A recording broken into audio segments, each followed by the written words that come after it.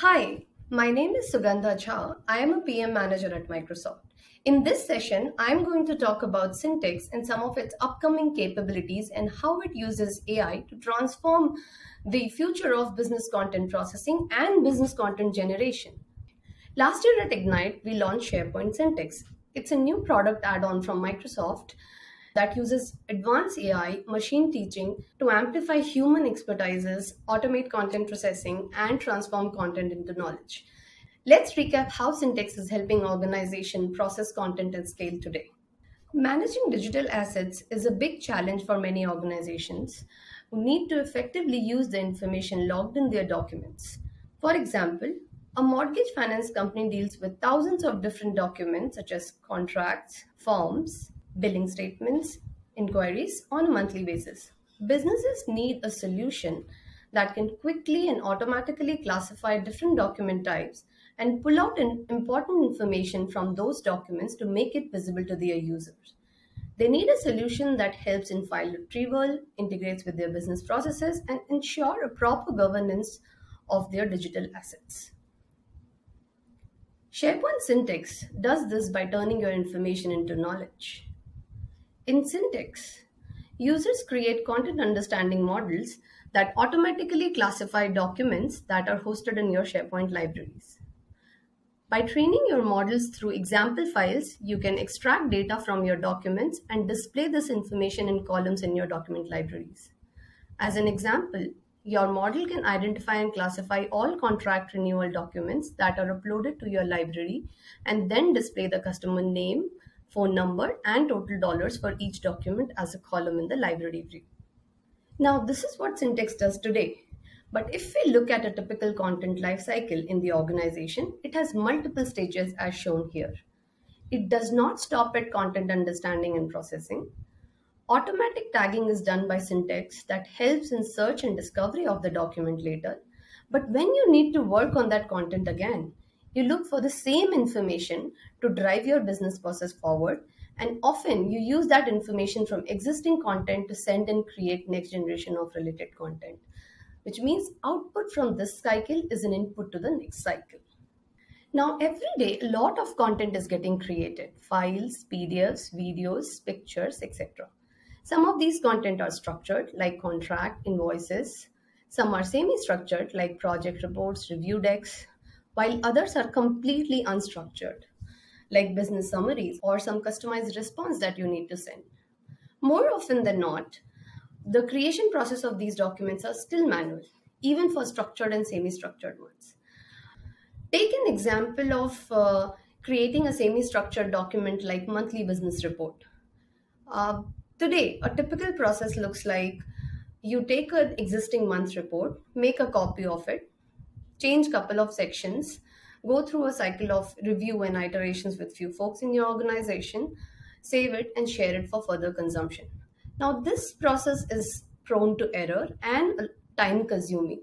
Organizations, irrespective of size, spend huge amount of time, energy, and money creating and curating such content at scale. Here is where we are bringing in content assembly.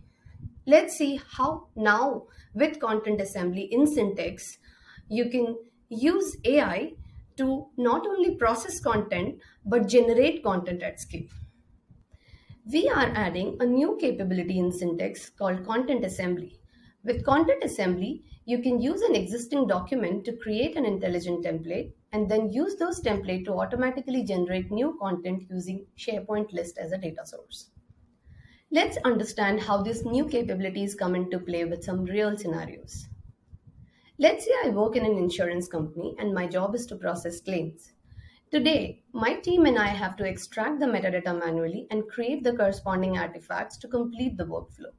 With Syntex, currently extracting metadata is a breeze but we still need to use it to then create new documents myself. In this case, let's say an explanation of benefit document or an approval email using the extracted metadata such as claim ID, claim value, customer ID, etc. Now this takes a lot of time and can lead to some errors. With content assembly, we can build an intelligent template one time and then reuse it to dynamically adapt to available metadata.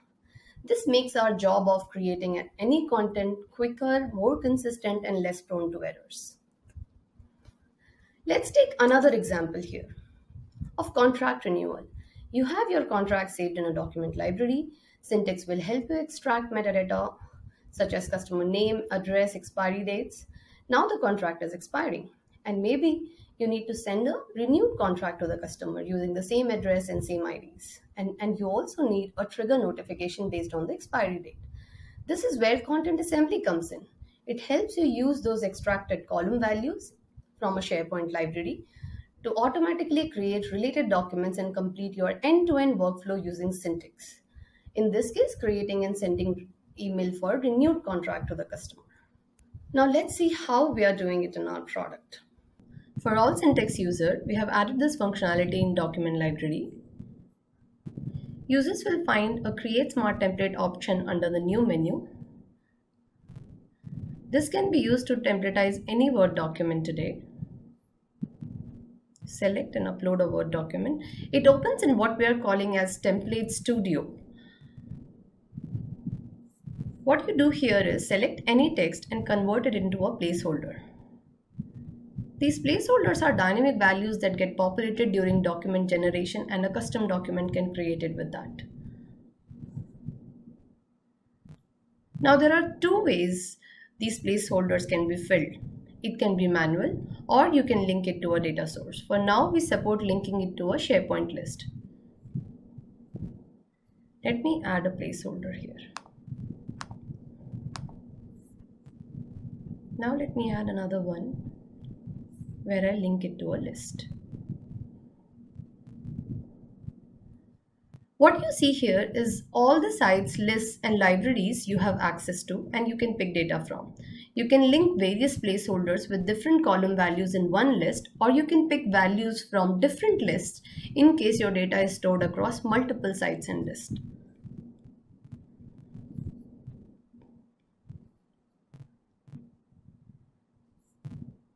Now you have added couple of placeholders and maybe it's a huge template and you don't want to finish it in one go. Just save it as draft and you can come back to it later using the edit menu.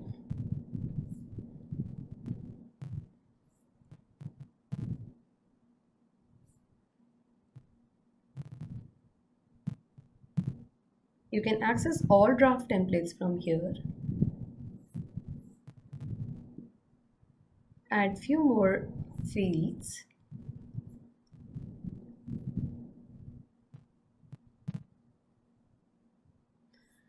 Once you are done, just review it one last time and go ahead and publish it.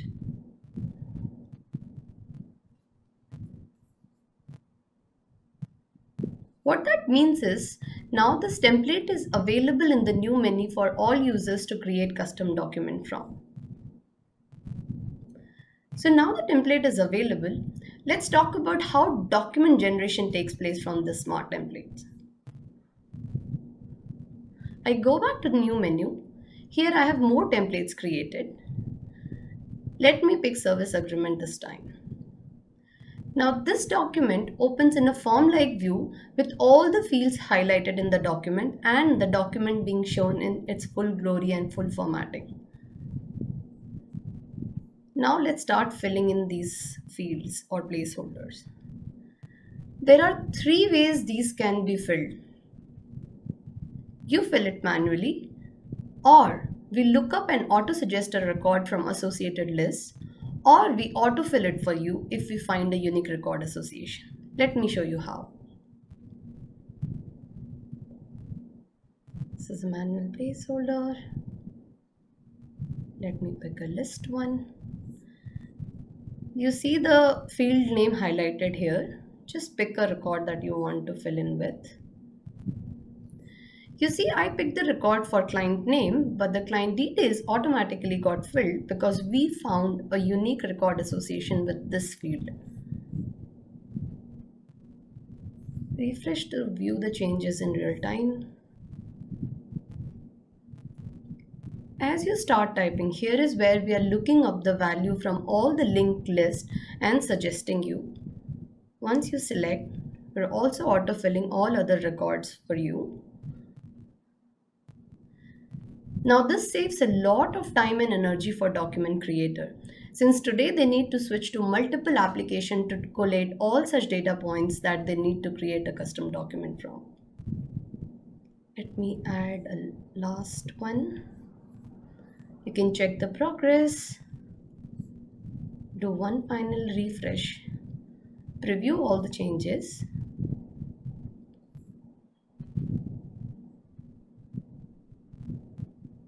and done. A custom document is created and available in document library with just few clicks. In future, we plan to extend this capability to support templatization of more document type, association of workflow with the templates, also support uh, integration to more first and third party data sources that you can pick data from. And lastly, we also hope to extend this functionality beyond SharePoint and bring into the endpoint where users are creating document across M365. That's all for now. Uh, we are thrilled to bring in these functionalities in SharePoint Syntex. In terms of timing, we hope to start rolling it out early next year. Um, do give it a try. We would love to hear your feedback. Thank you so much.